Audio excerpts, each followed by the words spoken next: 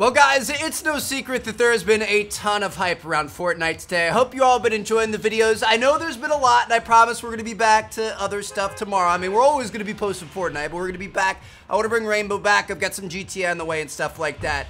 Um, I do have one last thing I want to talk about in this video, though, and honestly, I was going to save this video for tomorrow, but I've seen more and more people talking about it on Twitter, so I'm like, I'll probably upload this.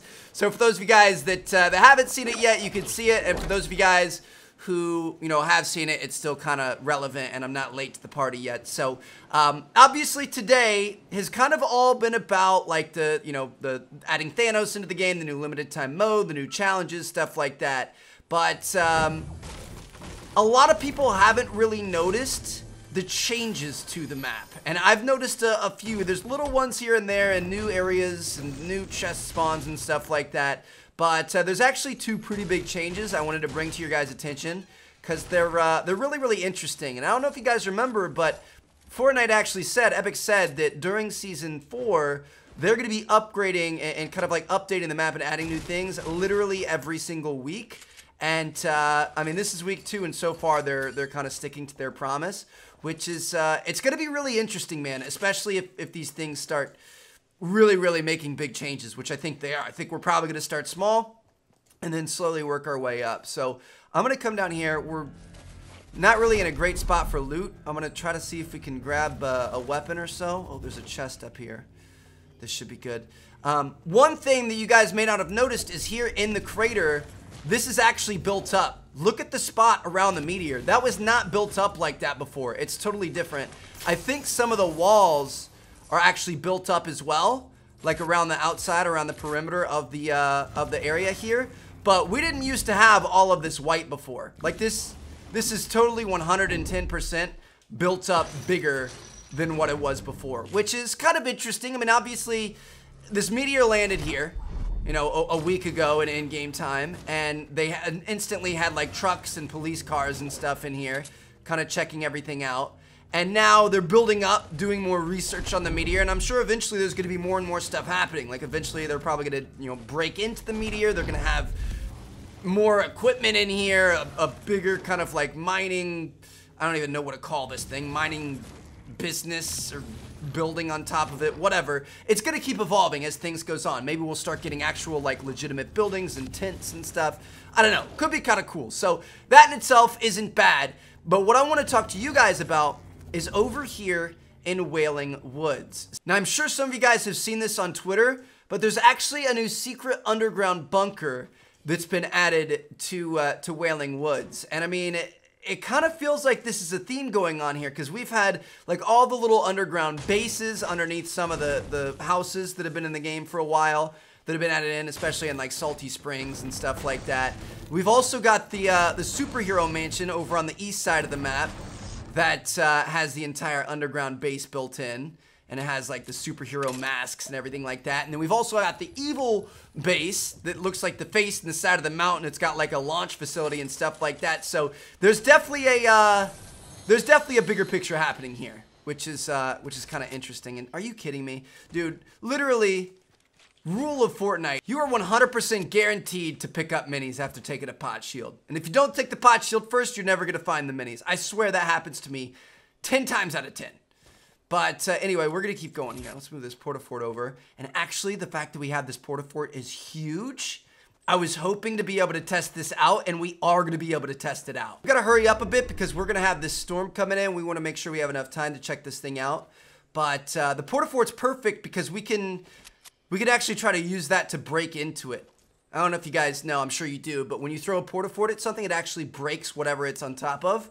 If you throw a Port-a-Fort at the meteor and the crater, it actually breaks the, uh, it breaks the meteor. So we're gonna see if we can use this to break into this, this underground tunnel thing. I've already kind of scouted this thing out in theater mode, and I'm pretty sure it's somewhere over here. This is new. We've never had this here before. There's a chest and kind of like a, an RV spawn. Where was this thing at? Oh, shoot, dude. Here it is. Right here.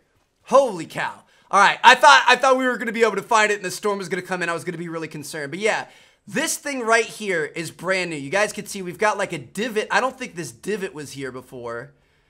And now we've got we've got this like garage hatch thing. And I I feel like we just got do we just get There's definitely sound next to this thing. And then we've also got this writing on it, which I can't really tell what that is. It looks kind of like a D or a sun. It almost looks like a scribbled up football play or something. But we've got like air vents and stuff, like very clearly that this is some type of a nuclear shaft or something like that. You can see down in, you can see that there's no, like, the walls definitely, definitely, the walls definitely don't go all the way down to the floor. There's definitely some area there where if you were able to drop down, you could explore down there all the way around. It kind of goes all the way around all four corners. And you, I mean, it, it's indestructible. You literally cannot break this thing. I even tried going into theater mode and I tried going in with the camera. You can't do that.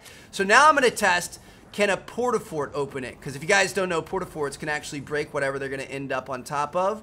So we'll test this out. It broke the tree next to it, but no, this thing is still here. It actually, it put the tires up on top of it. Dude, this is so weird. All right, hold on. I'm gonna break this again. I want to look at the, I want to get a better look at the back of this. This is really interesting, dude. Like, I'm, I'm stoked about this. You guys know I loved all the stuff about the comet and stuff. Oh, hold on. We did break it a little bit. Hold on. Hold on. Wait. Oh my gosh, no way. We did break it a little bit. We broke it open. But you...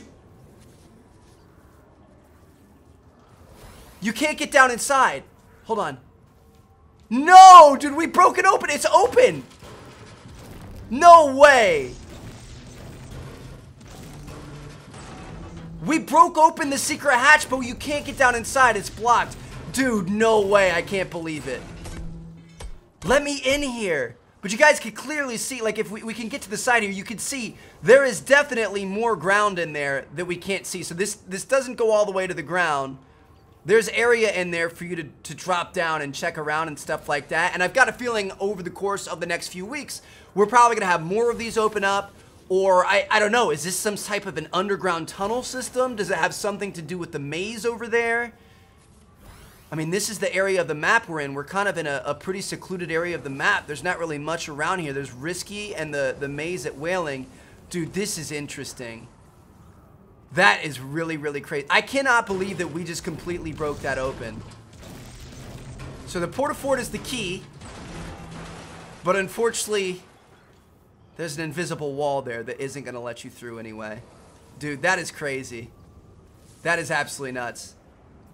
Alright, well, I wish there was more I could give to you guys here. I legitimately gave it my best shot here. Let me know what you guys think. I mean, uh, I'll, I'll put that, uh, that little, like, the, the writing that was on the back of the, the gate here back on the screen. So if you guys have any idea what that writing means, please let me know.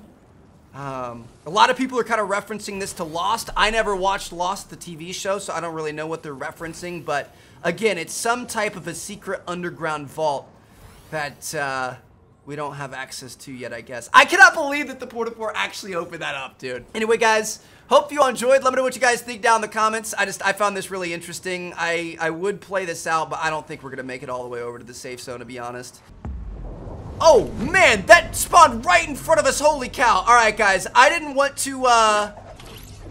I didn't want to leave you guys off with, with like nothing to watch here at the end. I was hoping we were going to be able to do that entire video and then be able to make the storm. But obviously that did not end up coming true. I think we are going to make this though. So we'll, we'll end off with some Thanos gameplay.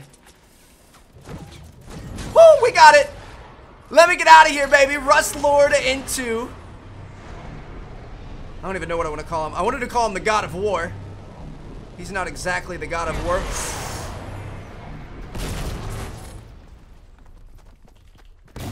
That might be the first time that I've I've nailed somebody on the very first uh, the very first landing, dude. That was insane. I'm having so much fun with this game mode, dude. Except for the fact that people can do that so easily now. He just ripped through almost all of our shields. All right, there was one or a couple other people we were competing with. Let's uh, let's go up here and see what we've got going on. Scarp. Holy cow. I was a little bit nervous about that. I saw that gold scar. That was a little bit sketchy, dude. Every time I play some, I always try to like run over people's bodies and pick up their stuff, even though I know I can't use it. All right. Let's see what else we got here. Oh, oh, this is going to be a crazy aerial attack, boys. We might get a two for one here. Either that or we're going to put ourselves in a really bad position. Yeah, we just did a, a bad move. We needed that kill really bad. Okay, that's not to save you, dude. That is not to save you at all. I cannot believe he just built himself in a one by one, bro. Here we go. From downtown. That was actually a pretty good shot.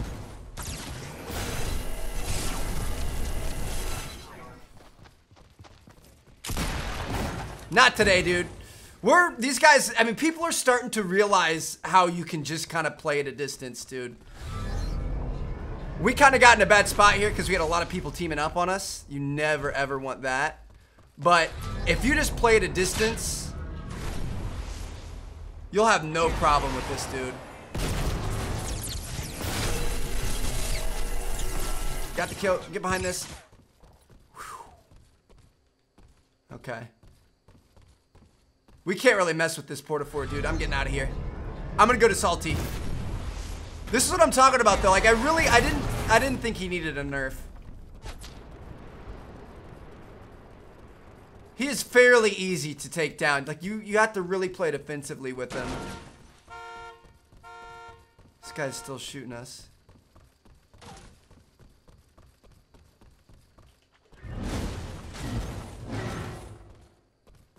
Thought I saw somebody on that other side of that house. Alright, we're gonna keep on going, boys.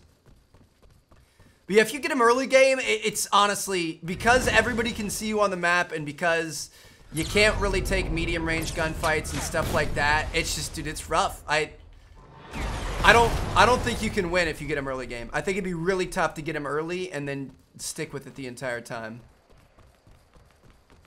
Everybody knows exactly where you're at. We need this kill in a bad way. I appreciate you, No Skin. More than you know. I needed that extra that extra shield.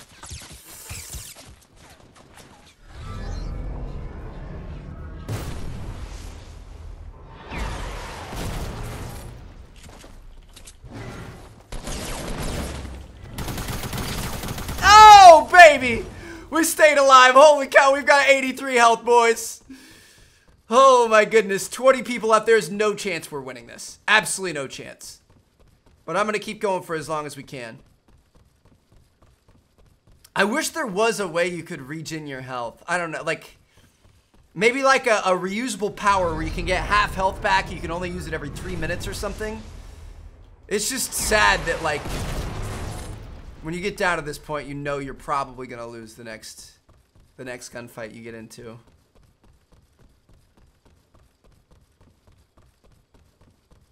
Gotta watch out for this storm. We've got nine kills here. I think uh, 12 might be the most I've had with him. Maybe a bit more. We kind of want to stay away from these hop rocks, I'm not going to lie. We've also got the double porta fort up there.